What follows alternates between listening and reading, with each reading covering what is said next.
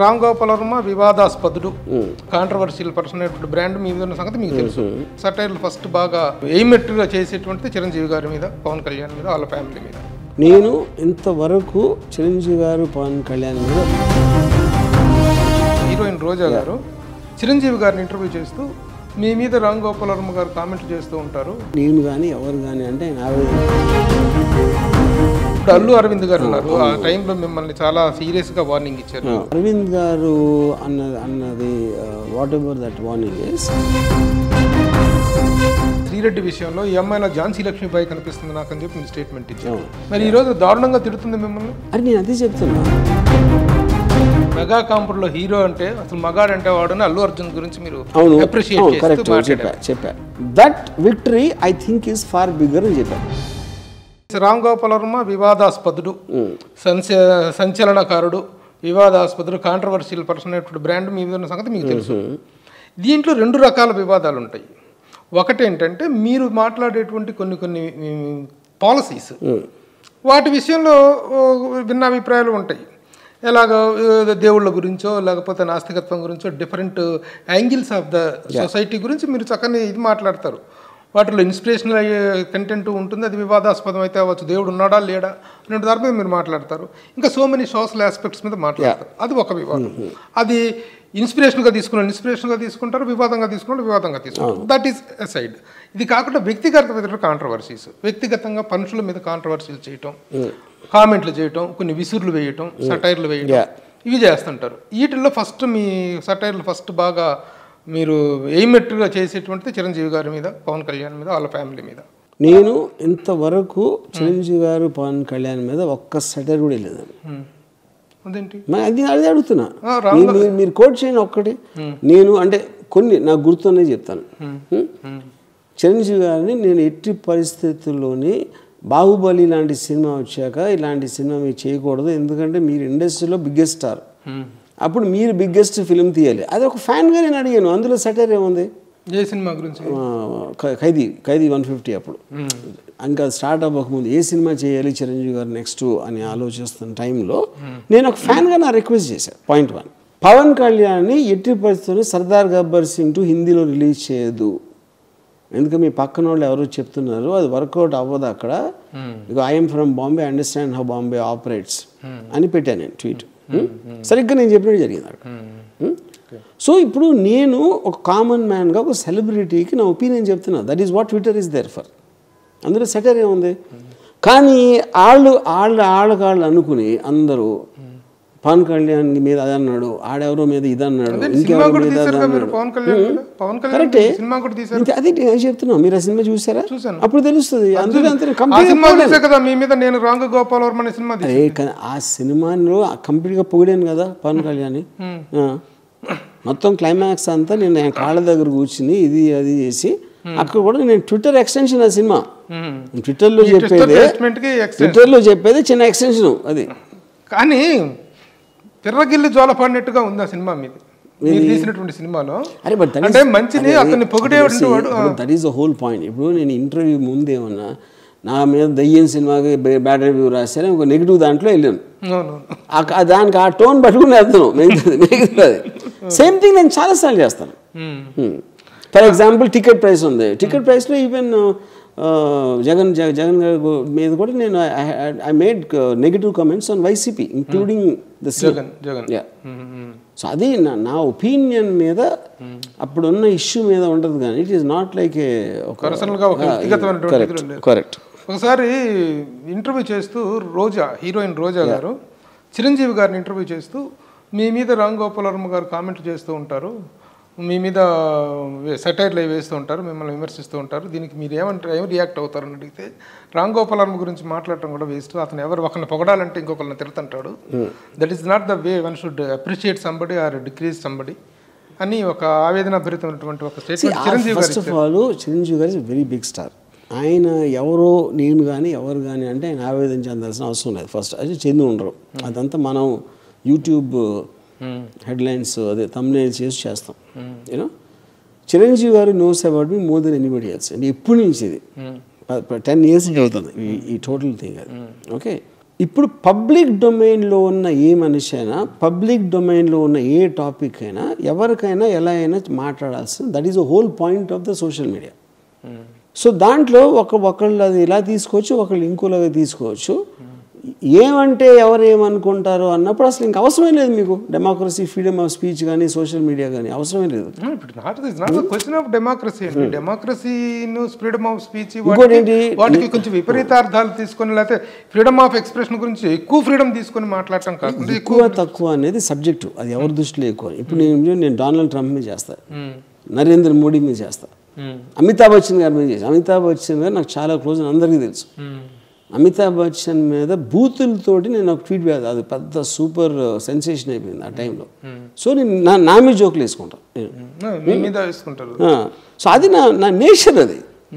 Yeah. అంటే when such nature of yours is getting and creating problems not to you but to others అనుకున్నప్పుడు వాటిని ఇది చేసుకోవచ్చు. అల్లు అరవింద్ గారు ఉన్నారు. ఆ టైంలో మిమ్మల్ని చాలా సీరియస్గా వార్నింగ్ ఇచ్చారు. మీరు వినే ఉంటారు చూసే ఉంటారు. అలాగే సురేష్ బాబు కూడా సురేష్ బాబు కూడా we have not asked him to do any favour అని చెప్పేసి సురేష్ బాబు గారు కూడా ఏది కానీ ఏ- ఫేవరు దేని మీద? మేము we will go by the law ఆ అమ్మాయి విషయంలో. అమ్మాయి విషయంలో? మీరు శ్రీరెడ్డి విషయంలో మీరు నెగోషియేట్ చేయబోతే. Negotiate. చేయబోతే. Not necessary we will go by the law నాకు సురేష్కి ఎప్పుడో కాన్వర్జేషన్ జరగలేదు. నేను ఇండిపెండెంట్గా చేసింది అది. సురేష్కి సంబంధం లేదు first of all okay and రెండు అరవింద్ గారు అన్న అన్నది whatever that warning is నేనే అంత బయట పెట్టా. ఫస్ట్ నేను వీడియో షూట్ చేసి మీడియాకి రిలీజ్ చేశా ఆ విషయంలో. సో ఎవరు ఇండిపెండెంట్గా కనుక్కొని చేసింది ఏమీ లేదు.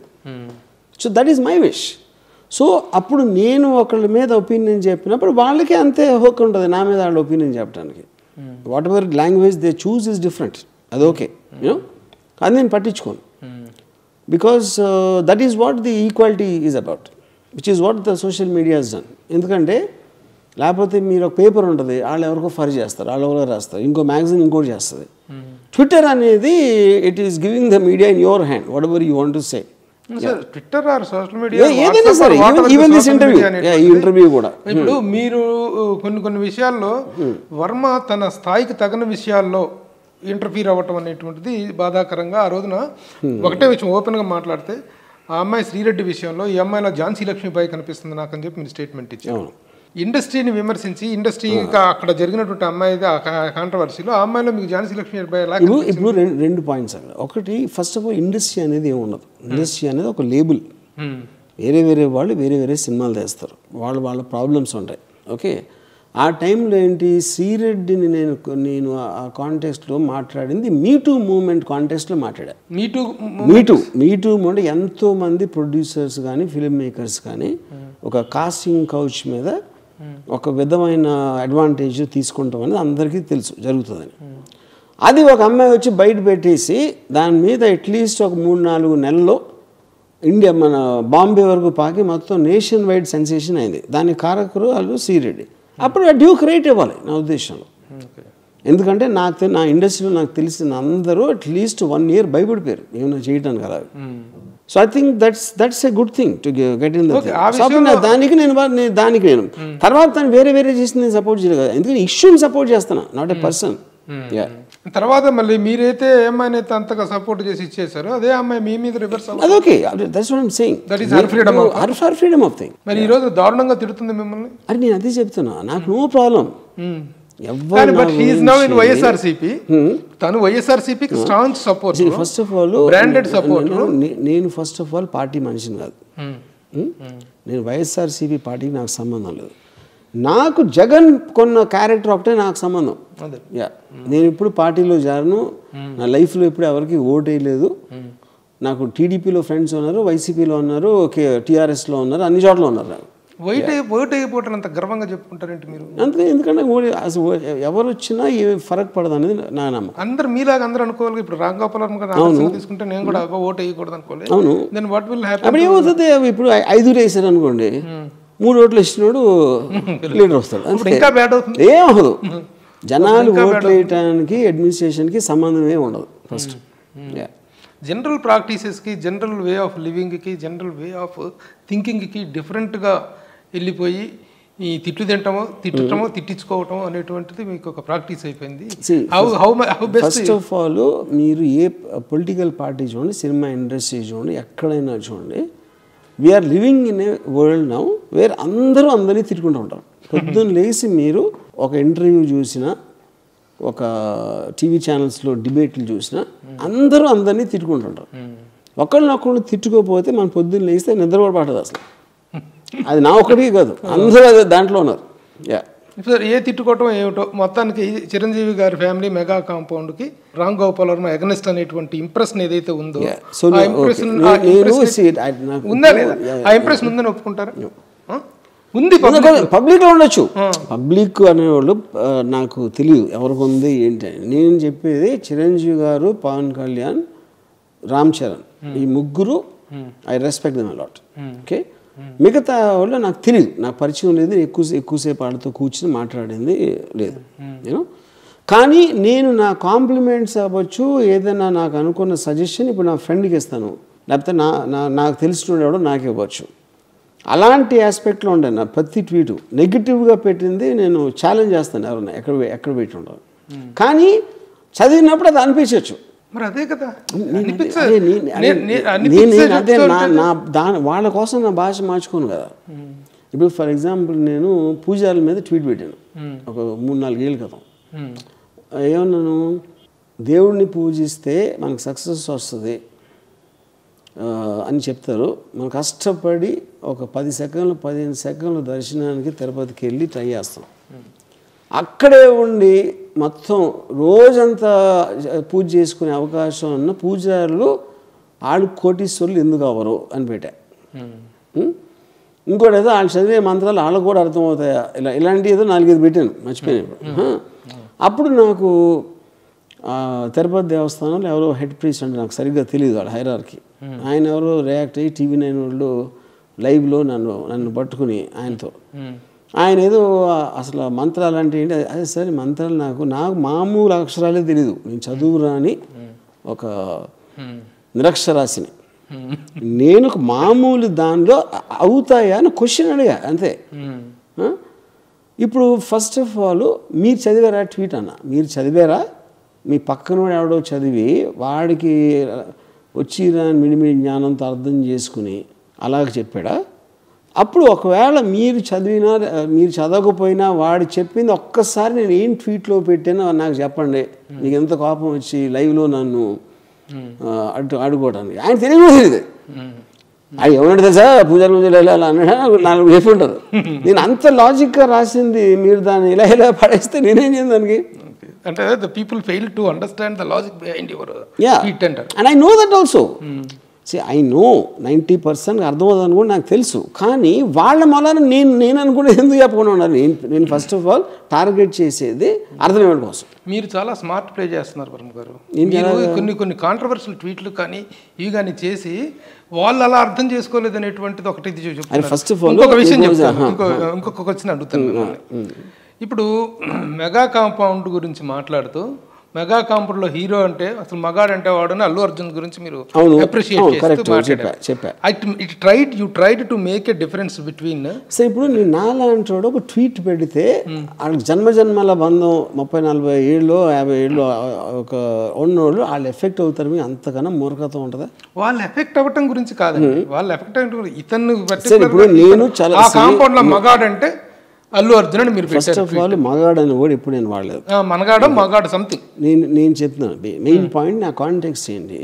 Chiranjeevi garu came by himself Ram చరణ్కి కానీ వీళ్ళందరికీ ఒక అడ్వాంటేజ్ చిరంజీవి గారు కొడుకు. ఓకే ఇంకోటి ఏంటి? చిరంజీవి గారు హీరోగా వచ్చారు. హీరో కొడుకు హీరో అవ్వాలనేది యూజువల్గా నార్మల్ అది రామారావు గారు బాలకృష్ణ అవచ్చు నాగేశ్వర గారు నాగార్జున అవచ్చు కృష్ణ మహేష్ బాబు అవచ్చు కామెడియన్ కొడుకు పెద్ద స్టార్ అవటం అనేది నాకు తెలిసి ఎప్పుడు జరగలేదు. హీరో పెద్ద సూపర్ స్టార్ హీరో అవటం అనేది ఫస్ట్ టైం జరిగింది. సో అక్కడ ఏంటి మనం ఎవరు లాంచ్ చేయమని అడగల. ఉం, ఆ టైంలో బన్నీ ఫస్ట్ టైం వచ్చినప్పుడు. ఏదో క్యాజువల్గా ఏదో సినిమా తీశారు రాఘవేంద్రరావు గారు. దాని తర్వాత అదే ఒక టెంపోలో అంచెలు అంచెలుగా సడన్గా ఒకరోజు సూపర్ స్టార్ అయిపోయాడు. That victory I think is far bigger అని చెప్పారు నేను చెప్పింది అదే అది చెప్పారు మీరు. అది ఏ కాంటెక్స్ట్లో చెప్పారు అలా చెప్పారు. That is important appreciating Allu Arjun అనేటువంటిది నేను చేస్తాను ఎందుకంటే ఒక జర్నలిస్ట్గా అతను అతని అతని ఇందులో ఎలాంటి ఎంత గొప్పగా పైకి వచ్చాడు. ఎంత స్పార్క్లింగ్గా పైకి వచ్చాడు అందరం మాట్లాడతాం. బట్ మీరు ఒక కంపే కాంటెక్స్ట్లో ఒక కన్- ఒక కంపారిటివ్ దీంట్లో చెప్పారు మీరు. రెచ్చగొట్టే విధంగా చెప్పారు మీరు అనేటువంటిది నా ఇప్పుడు నేను first of all first of all మీరు చదువుకుంటున్నప్పుడు ఆల్రెడీ ఆర్జీబీ అగెయిన్స్ట్ అనే దాంతో మీరు చదివినప్పుడు అలా కనిపిస్తుంది. దానికి నేనేం చేస్తాను? మైండ్ సెట్తో మేము చదివే ఉంటాం. నేను మీరు ఆ ట్వీట్లు మొత్తం చూడండి. Everything is design to make this point అన్నీ చెప్పాను? కమెడియన్ కొడుకు మనోడు సినిమా అవ్వడం అనేది ఇంతవరకు జరగలేదు. అందుకని అప్రిషియేట్ మోర్ ఊరికనే నేను స్టేట్మెంట్ చేయలేదు. ప్రతి దాన్ని బ్యాక్ చేశాను నేను. కాదు సార్ సార్ ఒక మాట. అల్లు అర్జున్ పర్ఫార్మెన్స్ గురించి అతని కమింగ్ అప్ గురించి అందరూ అద్భుతంగా మాట్లాడారు. కానీ వర్మ మాట్లాడినప్పుడు ఆ డిఫరెన్స్ ఎందుకు బయట నేను అదే అండి ఎందుకంటే వాళ్ళు ఆల్రెడీ ఫిక్స్ అయిపోయారు. నాకు సేమ్ థింగ్ కరణ్ జోహర్ మీద నేను ఒక ten years back Karan Johar సినిమాలు హారర్ సినిమాలు అని చెప్పాను? దానికి అందరూ ఎఫెక్ట్ అయిపోయారు. నేను అప్పుడు ఏమన్నాను సి తన సినిమా కలెక్షన్స్ నాలో భయం పుట్టిస్తాయి. ఎందుకంటే నా సినిమాలు అతనిలాగా ఏం ఏం వన్ పర్సెంట్ కూడా కలెక్ట్ చేయట్లేదు. అందుకని నా పాలిట హారర్ సినిమాలు అని కాంప్లిమెంట్ ఇచ్చా కరణ్ జోర్కి యాక్చువల్గా. వాళ్ళు అన్నీ వదిలేసి కరణ్ కరణ్ జోర్ సినిమాలు హారర్ సినిమాలు అంటే అని అని చెప్పారు. అంటే అంత అంత తిరగేసి చెప్పడం ఎందుకు మీరు అది అది నా స్టైల్ అది నా స్టైల్ అది అది నేను. అంటే ముక్కు అంటే ఇటు తిప్పి చూపించినట్టుగానో అది- లేకపోతే అది అర్థం అరే అది- అర్థం ఒకసారి సార్ నేను చెప్తున్నాను. ఇప్పుడు ఒకడు ఒకలాంటి బట్టలు వేసుకుంటాడు? ఇంకోడెవడో నామం పెట్టుకుంటాడు ఇంకోడెవడో ఏదో చేస్తాడు. ఆడికి ఆడికి ఉన్న టేస్ట్ ఆడికి ఉన్న పర్సనాలిటీ బట్టి కేసీఆర్ గారు ఒకలా మాట్లాడతారు చిరంజీవి గారు ఒకలా మాట్లాడతారు పవన్ కళ్యాణ్ ఒకలా మాట్లాడతారు. అగ్రెసివ్నెస్ పవన్ కళ్యాణ్ ఉన్నంత చిరంజీవి గారికి లేదు. ఎందుకంటే అది ఆయన స్వభావం. అలాగే ప్రతి మనిషికి వాడి వాడి స్వభావం ఉంటుంది. ఆ స్వభావం బట్టి చేయాలి కానీ అందరికీ అర్థమయ్యేలాగా ఏబీసీ అన్న వనమాలు పట్టు పట్టుకుని అది నేను చేయను. ఎందుకంటే వాడు అర్థం చేసుకోపోయి నాకు పోయేదేం లేదు.